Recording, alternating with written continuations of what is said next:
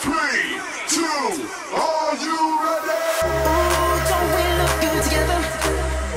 There's a reason why they watch all night long. Yeah, I know we'll turn heads forever. So tonight I'm gonna show you off. When I'm walking with you, I watch the whole room change.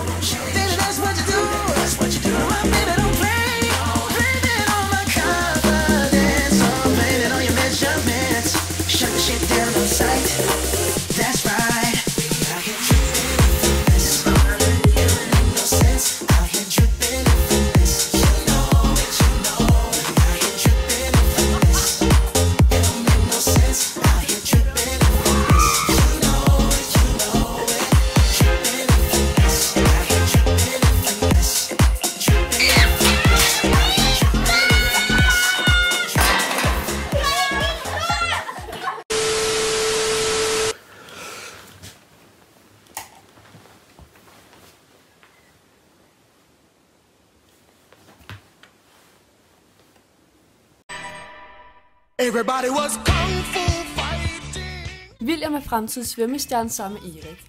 William er altid pastaretter med på madpakken, og han er altid glad og i godt humør. William er elsker alle klassen, da han ikke gør en flue på træet, for det meste. Dog glemmer vi aldrig dengang, han løb grædende ud på toilettet, fordi Martha var kommet til at spise hans chokolade.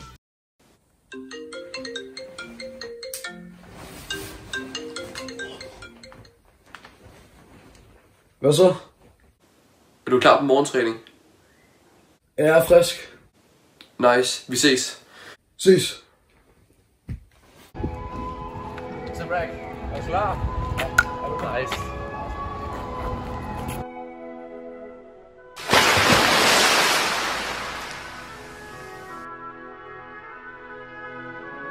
Og det var sgu en god morgen, du var. Lil belt on that face, man. Erik er klassens Clash Royale-konge sammen med William og Laurits. Erik har været med til at introducere mange nye udtryk til klassens ordforråd, som blandt andet Fjolle Guff, Belsebub, Muda Kuda kongen, og han fandt på et tidspunkt på sit helt eget sprog. Han er også super fokuseret på svømning og skole. Ja, det var sindssygt. Ja. Hey, er det ikke Luke, der sidder deroppe? Hej, jeg skulle. Hej, Så Luke. Lukas er klassens gamer. Han er sjovere end Anders Madsen, uden han selv ved det. Efter en måned, hvor han ikke har sagt noget i skolen, rækker han hånd op og fyrer den mest mærkelige og sjove kommentar af. Vi glemmer aldrig dengang, hvor han holdt en nytårstale om sine planter, da han ikke havde andet at snakke om. Så. banan.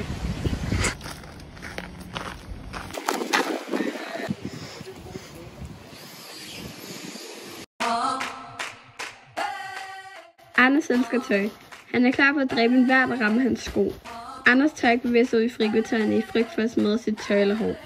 Hvis man spurgte, hvad Anders største drøm var i mellemtiden, var det at være DJ. Anders var den største Martin Garrix-fan og fandt altid en lejlighed til lige at fyre noget Martin Garrix af på smartboardet. Gutter, nødsituation. Vi skal til København, jeg skal have nye sko, og det er nu.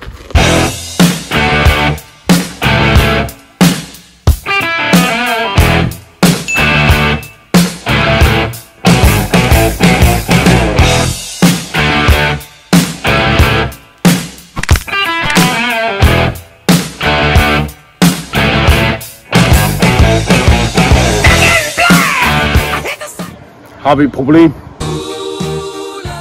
Thomas er klassens ordbog. Han kommer ofte med udtryk, ingen andre nogensinde har hørt om.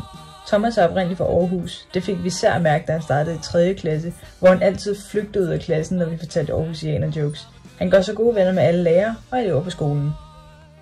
Put your flags up in the sky. Alexander kommer tit med dårlige timer jokes. Han vil helt sikkert fyre en joke af til en begravelse. Han er halv spansk og den største homie. Alexander blev født i en Barcelona-trøje og har været en stabil fan lige siden. Mads Emil, klassens fremtidige karakter i Peaky Blinders. Han blev født i det forkerte årstal. Mads har haft forskellige obsessions om forskellige ting igennem årene. Det har været alt fra Titanic til 2. verdenskrig og Peaky Blinders. Han er fremtidig historiker eller advokat. Hey gutter. Hvad så med altid, du krattede? Ah, du skal også skulle vise mig fucking chips. I'm a gummy bear. Yes, I'm a gummy bear. Bertram er klassens Rasmus modsat. Han lader aldrig en diskussion gå hans næse forbi. Han har altid en holdning, og det er næsten altid den modsatte af alle andres. Han er en diehard Manchester City-fan, som altid er klar på at komme i fodboldfight mod Andrea, som elsker Manchester United. Han har de dårligste comebacks i klassen, såsom undskyld jeg ikke sidder og læser op på en nørdig hjemmeside i min fritid.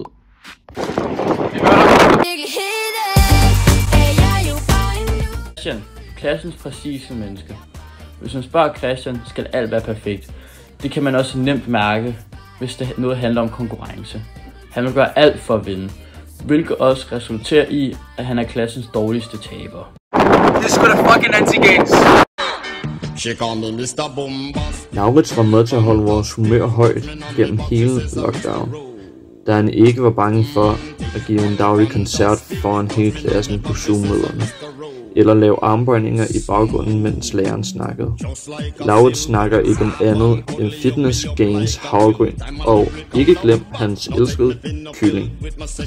Han er elsket af alle lærere og elever.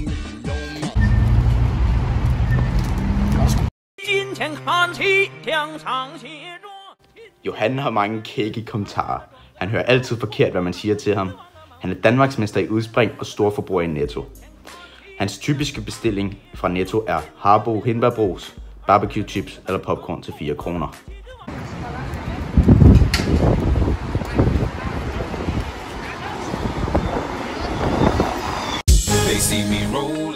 Victoria kom ind i klassen i 7. klasse, men har allerede nået at redde klassens røv flere gange. Hun er elevformand og altid klar på at hjælpe, hvis der er brug for det. Hun har blandt andet formået at redde vores blå mandag med et enkelt opkald efter en partybus i sidste øjeblik, da vi blev skamet af Ballerup Go-Kart Center.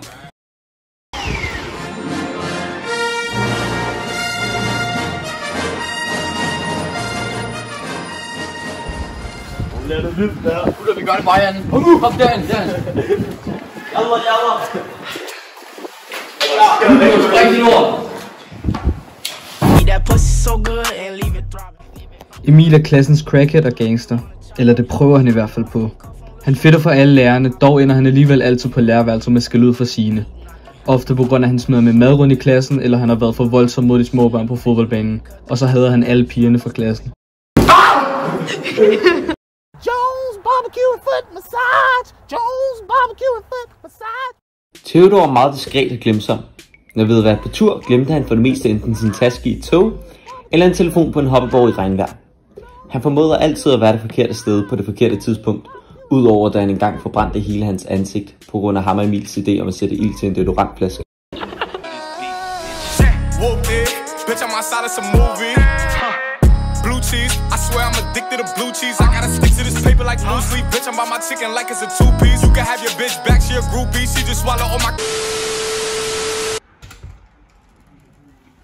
Hvor er folk henne? Det ved jeg ikke.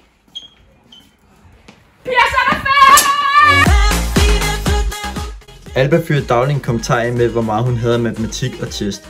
Hun er en humørbombe med masser af god energi, men hvis hun er i dårlig humør, kan bomben nemt springe. Man finder altid Alba til træning. Hvad siger du? Vil I mødes med fodbold? Nej, vi vil ej. Nej. Ej, hvor er I kedelig Ida er klasset på mis og er altid klar på en god slåskamp. Man ved aldrig, om hun kommer i skole glad, sur eller træt. Hun prøver forgæves altid på de andre piger med at spille fodbold i frikvartererne. Dog altid uden held. Ida har tilsammen været mere til tandlægen, end hele klassen har tilsammen.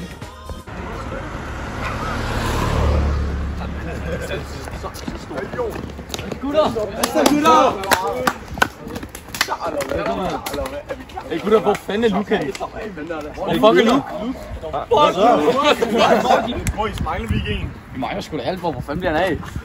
To sekunder, to sekunder. Nej, kraftedeme løgn, mand. Albi! Hvor fuck bliver du af? Hvad mener du, hvor er jeg henne? Skal vi ikke mødes i Harskoven eller hvad? Don't drop that dirk dirk, eh, don't drop that dirk dirk. Albert er forvirret 24-7. Albert han er ikke den hurtigste snegl i skoven, og Alberts go-to-outfit er en fodboldtrøje par Stan Smith. Og hvis han virkelig skal spice outfittet, putter han en hoodie på, og i de mindre klasser havde- alle piger et crush på ham. Det bliver sidste skoledag. Om for fanden, altså. Vi kommer nu, altså. Øv! Hvad sker der, mand? Hvor har I været? Mm, lidt rundt omkring, men jeg tror, det mangler noget. Var I ikke sammen med Andrea? Vi mangler Andrea. Nej, vi har ikke været sammen. Jeg skal vi sige Andrea i dag. Altså, skal jeg bare... Jeg ringer til dig. Ja, ring til hende. Hvor er du henne? Det er sidste skoledag. Man er aldrig i tvivl om, hvorvidt Emilie er i skole. Du kan næsten altid høre hendes stemme rundt i hele hus 2. Emilie missede halvdelen af 8. klasses timer, da hun brugte al sin tid på at tasty. Emilie har de mest underlige og unødvendige facts, og er altid klar på et comeback, hvis hun er i diskussion med Bertram eller Emil. Er det i dag? Nu? Jeg er på vej til frisøren. Later, bitches. Andrea har klassens største fravær. Ingen vidste nogensinde helt, hvor hun var i 8. klasse. Hun kunne være alt fra fysioterapeut eller i Spanien på lille getaway fra skolen. Andrea er aldrig bange for at svare igen.